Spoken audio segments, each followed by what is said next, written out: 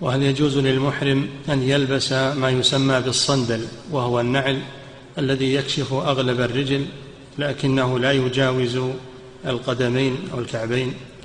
نعم يلبس أنواع النعال. ما جاء ما جاء تحديد نعل معين يلبس أنواع النعال.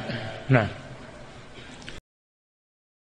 المكتبة الصوتية لمعالي الشيخ صالح بن فوزان الفوزان حفظه الله. فتاوى شرح كتاب العمدة في الفقه للإمام ابن قدامة المقدسي الحنبلي رحمه الله مرتبة على أبواب فقهية. إعداد مشروع كبار العلماء بالكويت أعزها الله بالتوحيد والسنة.